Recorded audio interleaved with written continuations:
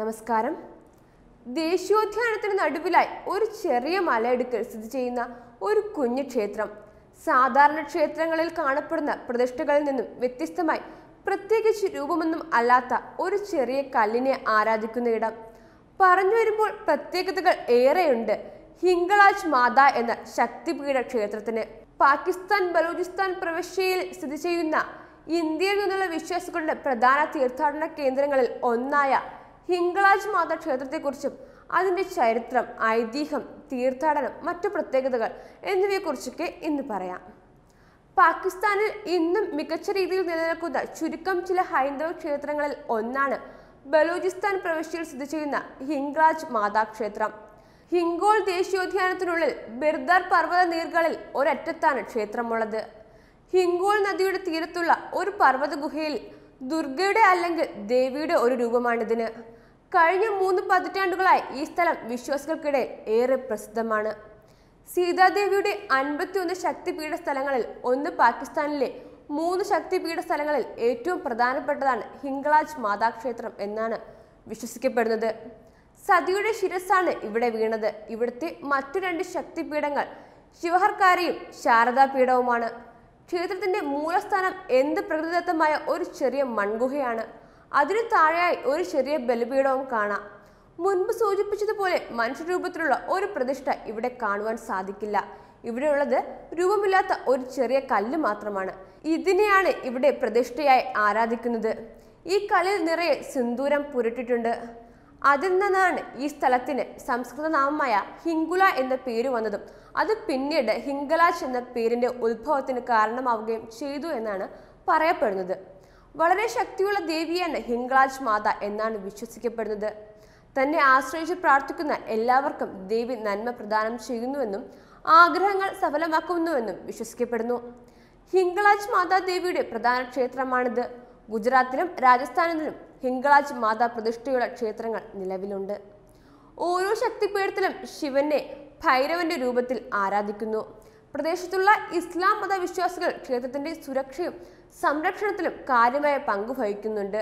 പ്രാദേശിക വിശ്വാസികൾ പ്രത്യേകിച്ച് സിക്രി ഇസ്ലാം വിശ്വാസികളാണ് ഹിംഗ്ലാജ് മാതാവിനെ ആരാധിക്കുകയും ആരാധനാലയത്തിന് സുരക്ഷ നൽകുകയും ചെയ്യുന്നത്. അവർ ക്ഷേത്രത്തെ ജ്ഞാനി മന്ദിർ എന്ന് വിളിക്കുന്നു. ഇവിടുത്തെ ഹൈന്ദവ വിശ്വാസികൾക്കൊപ്പം പ്രാദേശിക മുസ്ലിം ഗോത്രങ്ങളും ഹിംഗ്ലാജ് മാതാ ദേവാലയത്തിലേക്ക് തീർത്ഥാടനം നടത്തുകയും ഈ തീർത്ഥാടനത്തെ നാനി കി ഹജ് എന്ന് വിളിക്കുകയും ചെയ്യുന്നു. സൂഫി മുസ്ലിങ്ങളുടെ ഹിംഗ്ലാജ് മാതാവിനെ ബഹുമാനിക്കുന്നു. സൂഫി സന്യാസിയായ ഷാ അബ്ദുൽ ലത്തീഫ് ഫിട്ടായി ഹിംഗ്ലാജ് മാതാ ക്ഷേത്രം സന്ദർശിച്ചിരുന്നു. ഷാ അബ്ദുൽ ലത്തീഫ് ഫിട്ടായി ഹിംഗ്ലാജ് മാതാവിനെ ആദരാഞ്ജലി അർപ്പിക്കാൻ ഹിംഗ്ലാജ് മാതാ മന്ദിർ സന്ദർശിക്കാനും ഹിംഗ്ലാജ് മാതയ്ക്ക് പാൽ അർപ്പിക്കാനും കഠിനമായ യാത്ര നടത്തി എന്നൊരു ഐതിഹ്യമുണ്ട് അദ്ദേഹം പാൽ അർപ്പിച്ച ശേഷം ഹിംഗ്ലാജ് മാത അദ്ദേഹത്തിന് മുന്നിൽ പ്രത്യക്ഷപ്പെട്ടു എന്നും വിശ്വസിക്കപ്പെടുന്നു. ഹിംഗ്ലാഷ് യാത്ര എന്നത് പാകിസ്ഥാനിലെ ഏറ്റവും പ്രധാനപ്പെട്ട ഹൈന്ദവ തീർത്ഥാടനങ്ങളിൽ ഒന്നാണ്. എല്ലാ വർഷവും ഏപ്രിൽ മാസത്തിലാണ് ഹിംഗ്ലാജ് മാതാ ക്ഷേത്രത്തിലേക്ക് നാല് ദിവസം നീണ്ടു നിൽക്കുന്ന തീർത്ഥാടനം നടക്കുന്നത്. മൂന്നാം ദിവസമാണ് പ്രധാന ചടങ്ങ് നടക്കുന്നത്. ഹിംഗലജ് യാത്ര എന്നത് പാകിസ്ഥാനിലെ ഏറ്റവും പ്രധാനപ്പെട്ട ഹൈന്ദവ തീർത്ഥാടനങ്ങളിൽ ഒന്നാണ്. എല്ലാ വർഷവും ഏപ്രിൽ മാസത്തിലാണ് ഹിംഗ്ലാജ് മാത ക്ഷേത്രത്തിലേക്ക് നാല് ദിവസം നീണ്ടു നിൽക്കുന്ന തീർത്ഥാടനം നടക്കുന്നത്. മൂന്നാം ദിവസമാണ് പ്രധാന ചടങ്ങ് നടക്കുന്നത്. മൂന്ന് തേങ്ങകളാണ് ഇവിടെ നേർച്ചയായി അർപ്പിക്കുന്നത്. കറാച്ചിയിലെ നാനാദ് പന്തി അഗാഡയിൽ നിന്നാണ് സാധാരണഗതിയിൽ തീർത്ഥാടനം ആരംഭിക്കുന്നത്. ചിലർ നാല് ദിവസവും ഹിംഗ്ലാജിൽ തുടരുമ്പോൾ മറ്റുള്ളവർ ചെറിയൊരു ദിവസത്തെ യാത്ര നടത്തുന്നു. പാകിസ്ഥാനിൽ നിന്നും മാത്രമല്ല ഇന്ത്യയിൽ നിന്നും നിരവധി വിശ്വാസികൾ ഹിംഗലാജിൽ തീർത്ഥാടനം നടത്തുന്നു. ഒരു കാലത്ത് അടുത്തുള്ള റോഡിൽ നിന്ന് മരുഭൂമിയുടെ കാൽനടയായി നൂറ്റി അൻപത് കിലോമീറ്ററിലധികം നടന്നായിരുന്നു യാത്ര നടത്തിയിരുന്നത്. ഇപ്പോൾ കറാച്ചിയിലെ ഗോദറുമായി ബന്ധിപ്പിക്കുന്ന മക്രാൻ തീരദേശ ഹൈവേ എളുപ്പമായിരിക്കുന്നു. ആയിരത്തി തൊള്ളായിരത്തി നാൽപ്പത്തി ഏഴിൽ ഇന്ത്യയുടെയും പാകിസ്ഥാന്റെയും വിഭജനത്തിന് മുൻപ് ഇന്നത്തെ പാകിസ്ഥാൻ ഉൾപ്പെടുന്ന പ്രദേശത്ത് പതിനാല് ശതമാനം ജനങ്ങളും ഹൈന്ദവ വിശ്വാസികളും സിഖ് വിശ്വാസികളുമായിരുന്നു.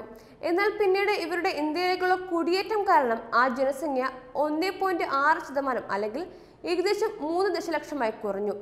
ഇവരിൽ ഭൂരിഭാഗം പേരും സിന്ധ് പ്രവിശ്യയിലെ തർപ്പാക്കർ ജില്ലയിലാണ് ഇപ്പോൾ വസിക്കുന്നത്.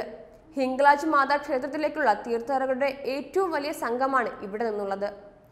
രാവണനെ വധിച്ചതിനു ശേഷം വനവാസം കഴിഞ്ഞ് അയോധ്യയുടെ രാജാവാകാൻ രാമൻ തിരിച്ചെത്തിയപ്പോൾ ഇതുവരെ ചെയ്ത പാപങ്ങളിൽ നിന്നെല്ലാം സ്വയം ശുദ്ധീകരിക്കാൻ കഴിയുന്ന ഒരേ ഒരു സ്ഥലമായ ഹിഗ്ലാജ് മാതയിലേക്ക് രാമൻ ഒരു തീർത്ഥാടനം നടത്തണമെന്ന് കുംഭോദർ മുനി ആവശ്യപ്പെട്ടു.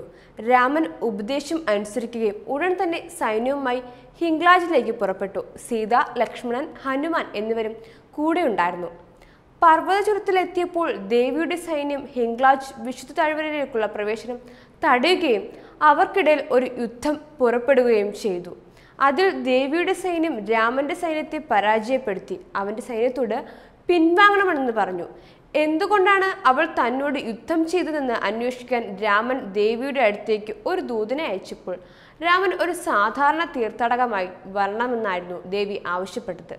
ഇതനുസരിച്ച് രാമൻ തന്റെ പരിവാരങ്ങളുടെയും സൈന്യങ്ങളുടെയും വാഹനങ്ങളെയും ഒക്കെ ഉപേക്ഷിച്ച് തന്റെ ഏറ്റവും അടുത്ത സുഹൃത്തുക്കളെ മാത്രം അനുഗമിച്ച് ശ്രീകോവിലേക്ക് കയറുകയും ചെയ്തു. വളരെ കഷ്ടപ്പാടുകൾ സഹിച്ച് രാമനും കൂട്ടരും ഈ യാത്ര പൂർത്തിയാക്കിയതായാണ് ഐതിഹ്യങ്ങളിൽ പറയുന്നത്. തന്റെ പൂർത്തീകരിച്ച യാത്രയെ അടയാളപ്പെടുത്തുന്നതിനായി ക്ഷേത്രത്തിന്റെ എതിർവശത്തുള്ള പർവതത്തിൽ അദ്ദേഹം സൂര്യന്റെയും ചന്ദ്രന്റെയും ചിഹ്നങ്ങൾ കൊത്തിയെടുത്തിട്ടുമുണ്ട്. അത് അവിടെ ഇന്നും കാണാം. Web desk Tatwamayi news.